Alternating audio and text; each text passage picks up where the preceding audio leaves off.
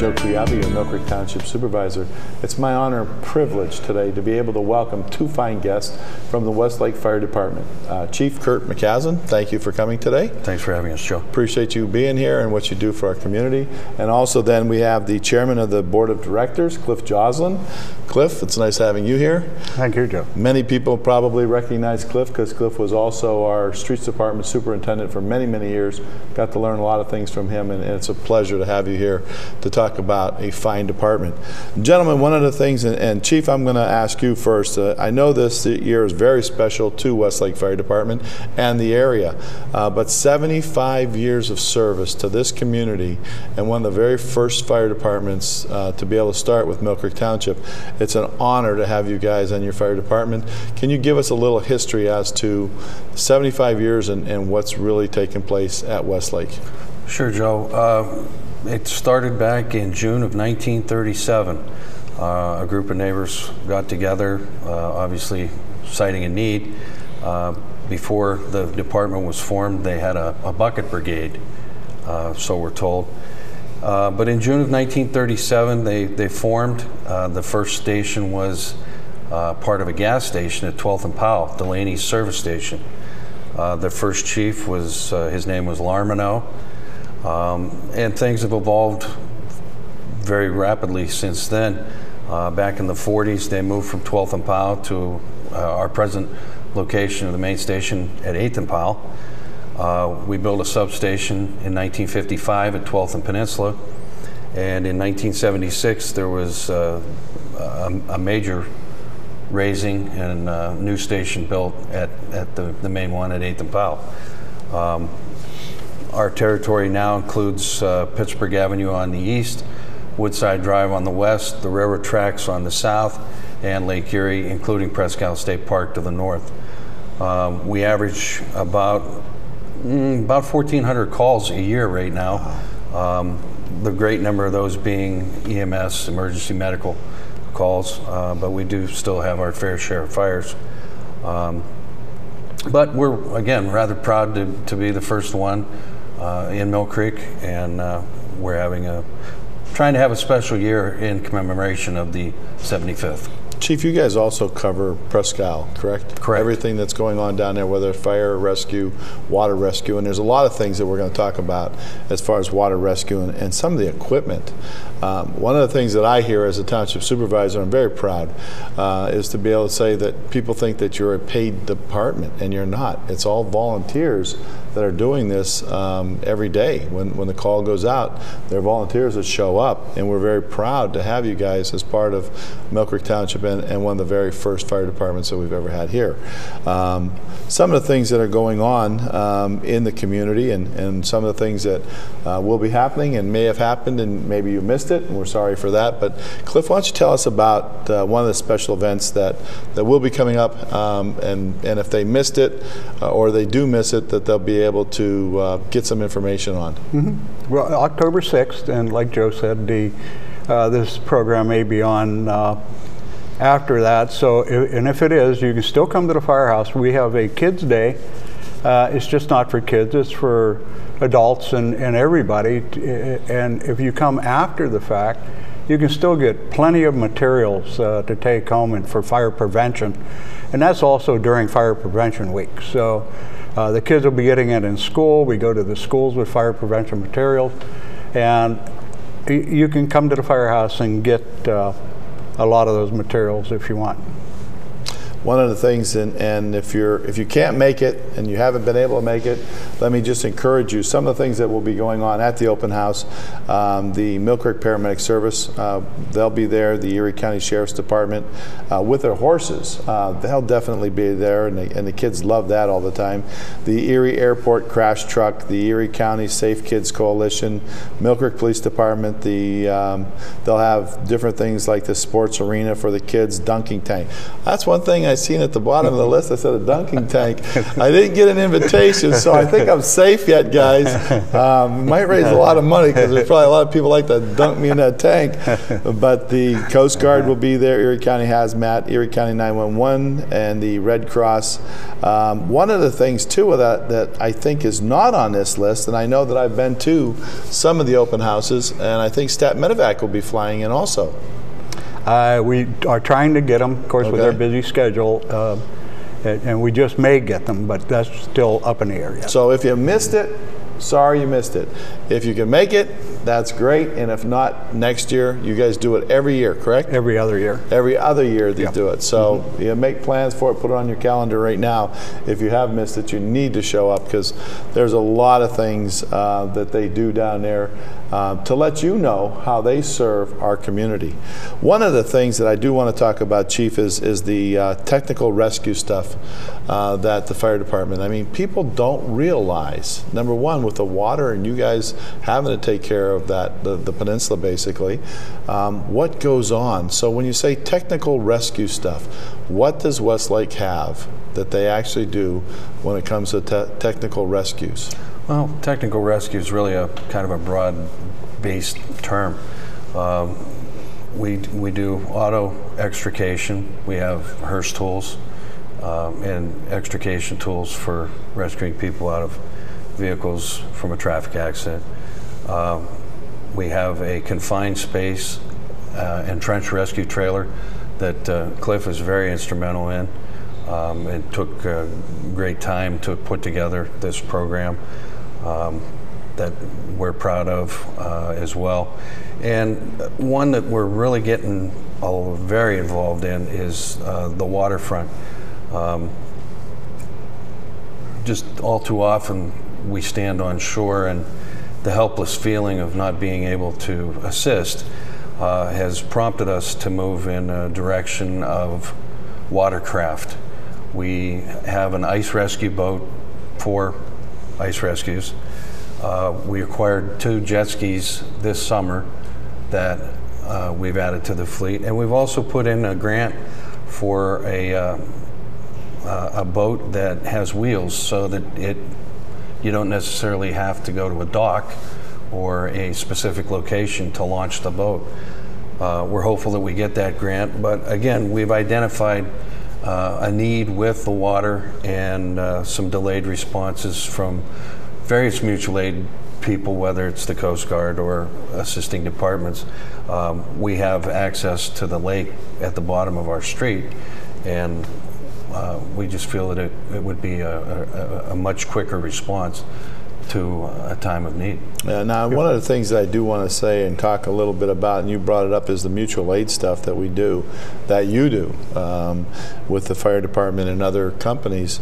Um, the air rescue boat, I know you said it's for ice rescue, but um, you know, what a helpless feeling to have someone walking on the ice go through the ice and not be able. I know that you participate with the Coast Guard.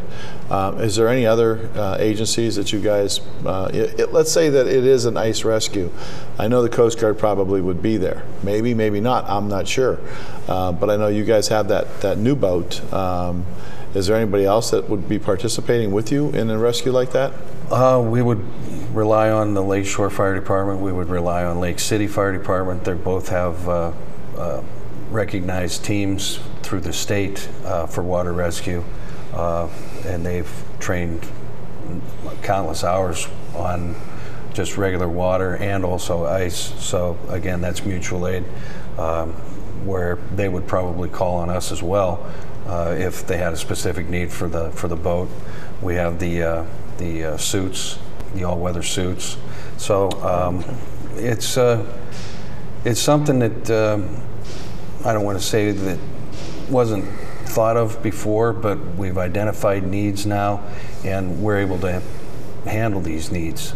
Uh, now that airboat, that that airboat was designed for air for ice rescues, but it is a boat that could go out anytime it needs to. It could. It depends on the conditions of the lake. Okay. Um, the seas will dictate that. It's a flat bottom boat with a Kevlar hull. It's meant to travel over the ice Okay. and not get damaged. Um, because it is flat bottomed, it doesn't have very, it- the seaworthiness is not that good. About two foot, two to three foot is the, the max on that. Good, There you that's go, three foot or more, you're going to get wet. Yeah, It- there's no Although it's a, a cabin and Mm-hmm. covered with a heater in it, over three foot, you're going to get wet. Right. You know, it's got a seven foot fan on the back. The motor's a 327 Chevy engine with a 350 horse. So something's going to happen when they throttle it up. Yep, you got that right. Cliff, one of the things that uh, I have on this list that I, I thought was very interesting when we talked, and, and I want to talk a little bit about it, is when people have a fire, um, you know, and, and uh, God forbid, but those things do happen, and it happens every day. When they have a fire, I understand you're putting together a book um, explaining what people need to do or how to do it or where to go, and it's an informational book, is it not? We, it, is an information book, and what had happened was we had one of our fellows a long time ago go to Florida, and he came back with a partial book, and this uh, Florida Fire Department wanted to team up with us and write this book. So we wrote it in conjunction with them. We published it, put it out, everybody liked it. So uh, I'm done with that book now. The chief has to go through it and add his comments. As soon as he does that, we'll take it to the board of directors and then possibly send everybody in our area a copy. If we don't do that, we will certainly, when we go on a fire call, even if it's just a fire alarm, we'll hand these people a book. A book, and what it does is tell them if they have a small fire and the smoke gets in their clothes, what to wash their clothes with. Uh, it tells you know their woodwork and everything that they, they can clean, use different cleaners, and it's a really informational book. It tells how to get that smell out of that house so that they don't have to hire someone and spend a lot of money. They can Right. do it themselves. Yeah. Well, the insurance will, will play big, but you know, do you have enough insurance? Or do you have insurance? Or do you have Yeah. That's right. Yeah, absolutely. Um, one of the things we talked about, Chief, and, and I'll go back to you on this one, is the jet skis. I know that uh, was a hot topic. Uh, we've had a hot summer, um, and again, we stand on the shores and we and we hear that there's a need. Um, you know, the the new jet skis have they been effective this year? Um, what do you see them doing, and, and how have they benefited the Westlake Fire Department this year? Joe, uh, thanks for asking, and thanks to the Board of Supervisors for permitting uh, the, the use or the, uh, for us to obtain them. Uh, They trained uh, probably for 60 hours on the machines this summer. Um, They were effective in a rescue, even before they were technically in service. Um, We brought them to a call that we had on the bay for a uh, kayaker that had overturned. So, uh, in my mind, they've paid for themselves the use already. We've made one rescue, we've saved one life. Um, again, the conditions of the, the lake or the bay will dictate whether we respond with them or not. I think they've come up with uh, a number between five and seven feet is the max that we're going to allow anybody to go out and attempt any kind of a rescue in. Uh, but again, the conditions will dictate. But we found that we are able to, to launch from the foot of Powell Avenue. We can launch from the campgrounds. We can launch from Presque Isle. Very maneuverable, very flexible, um, and again, they're fast. Uh, getting to somebody quickly, knowing what to do when you get there, um, it's definitely going to pay off. It's all about saving someone's life. It is. And if I could just add, Joe. Sure. You know, people will ask and, and wonder why do we have all this equipment? Well, number one, when we get to the scene of no matter what it is, whether it's a trench rescue, confined space rescue, uh, where we have to use the jet skis or the the uh, uh, ice boat, you know, the chief gets there or one of his deputies, or it may be a lieutenant, it may be just a fireman that's ahead of that call. They're expected to do something. And if you don't have the equipment to work with, how are you going to do it? Right. Uh, last year alone, I believe it was, Chief, where we had the three, the two drownings and the one with three kids in it near drowning Yeah, we had three rescues in one week. Wow. in one week with two deaths, and then we had some kids who were out in a little boat and turned over, and could have been three more. Luckily, uh, They confiscated, if I want to say, uh, Commandeered. commandeered a uh, jet ski off the beach and went out and got these three individuals. And I know that I, I know that mutual aid with with Westlake and other departments. I know they have a nice boat um, that they can also assist you guys in. But you're right. It's you're standing there. You see someone that has a need, and you feel so helpless to be able. But now with the jet skis, like you said, Chief, it's you know so much faster getting out on those things. Yeah. And you know. Uh, and weather permitting, because number one is making sure that everyone that goes out comes back home safe. That's correct. It's one of the rules in the firehouse. We want to bring our people back home safe, but then be able to serve the community and with the peninsula and the people and th- hundreds of thousands of people that visit, uh, having the right equipment at the right time might just save someone's life. Well, I don't think people realize how fast this lake can change. I recently bought myself a boat, a 21 footer, and you know I'm always watching the skies because this lake I can go out and it could be less than a foot waves, and all of a sudden, boom, this wind turns around and you've got three and four, five footer. And people maybe from Pittsburgh or out of town don't realize how fast it can change, mm-hmm. and they get caught. Yeah. One thing, Cliff, I know of, of with you being here for so many years and, and working with you and having the honor to work with you, one thing that's been a passion is trench rescue. Um, even when you were here as the superintendent for the streets department, um, there's not there are not many people out there, but we hear about it in the news uh, a couple times a year where someone gets into a ditch um, because everyone's in a hurry today to get something done, and things happen and they go sour. Can you explain to those listeners that are here that are watching today um, what is trench rescue and what's it all about and what's the common goal um, for the trench rescue So trench rescue is anything over four foot deep. You've got to have it secured with uh, either wood or, or metal panels. In the trailer, we have all of that. We have the air air screws and, and the air jacks and the whole works. Uh, we've had two calls. One was down to McKean. Uh, a fellow was buried up to his neck. Uh, it was pretty decent because we, we got him out. Uh, they flew him to Hamot. He walked out of the hospital and was back in the firehouse in two hours. Wow. Great recovery. We had another child down at Albion we got called for. Uh, he was sitting on the side of this bank. His shoe fell in, and he went down to get it. And luckily, they got him out before we got there. But you know, that's one of those specialized pieces of equipment the trailer has all in it that we can go and a specialized team, along with trench and confined space is pretty much the same. People don't realize that portable radios that we carry do not work underground. You have to have a special uh, hardwired that we take with us and actually wear it to uh, underground. And that's how we can speak to the people above ground. So, you know, we're, we're how do we train in all this? Uh, the chief has a tough job, I'll tell you. Uh, they try to get everything in in a year.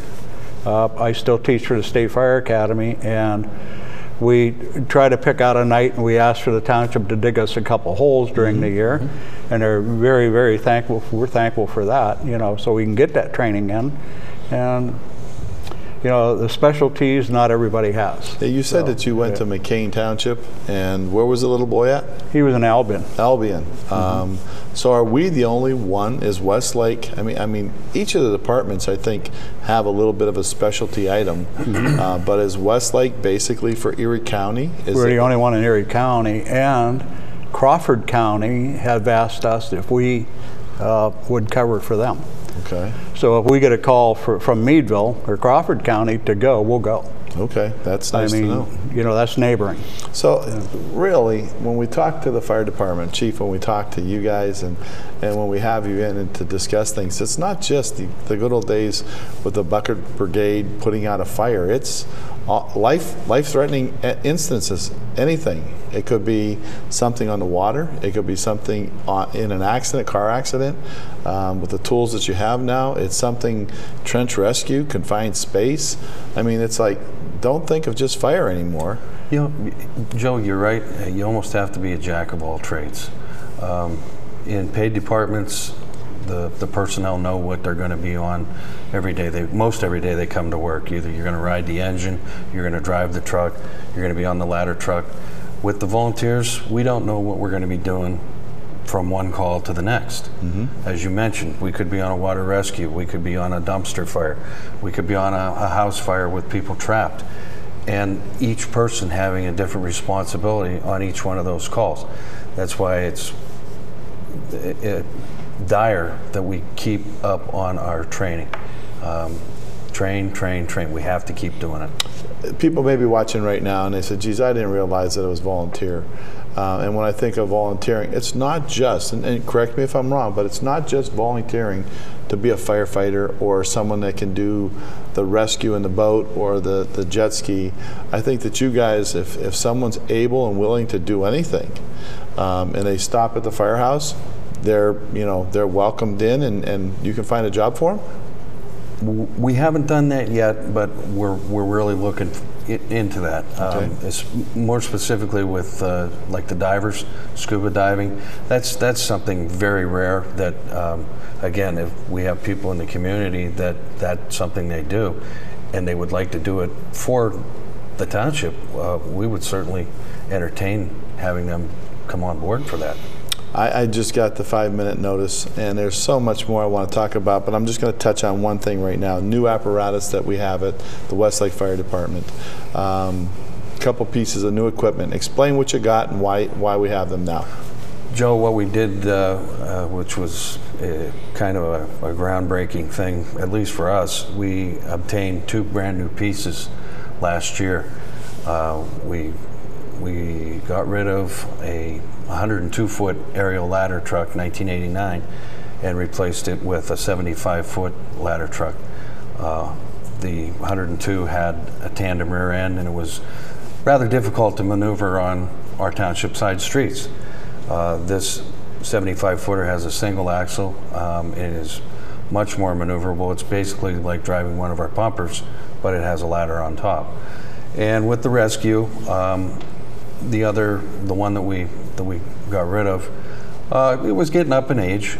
There was nothing wrong with it, but again, age was becoming a factor, maintenance. And we replaced it with a unit that uh, has much more compartment space. Um, it is able to carry, uh, I believe, four people in the back uh, of the unit. Um, it's just a newer unit, um, and it's got all of our rescue equipment for car accidents, airbags, etc., um, just to modernize the fleet. Um, we spent $890,000, excuse me, 900, yeah, $980,000 on both of these pieces of equipment. Um, of course, we spread that out over a period of time, but uh, that's one of the main reasons that we send out the, the flyers yearly is for new equipment uh, for our fund drive. And that's why it's imperative uh, that everybody try and give and contribute as much as they possibly can. Absolutely. Gentlemen, thank you. Um, I know our time is almost up, um, and, and there's so many other questions I could ask. Um, but I do sincerely want to say thank you to you, Chief. Um, Cliff, also to you and what you guys do for Millcreek Township. If you're watching the program today and you can contribute uh, to their fund drives, please don't take that for granted. It is not a paid fire department. They are volunteers and they're here to help save you, rescue you, help in any area that they can. You've heard today from water rescues to car accidents, fires, um, and I know that ladder truck has probably taken even cats out of trees. um, but with that, um, I want to say thank you. Thank you very much on behalf of the Board of Supervisors. We appreciate what you guys do for us and how you serve our community. So until next time, uh, we'll have to do this again. Um, stay tuned and we'll have you guys back. So thank you for watching the show today. And if you can, please contribute to our volunteer fire companies.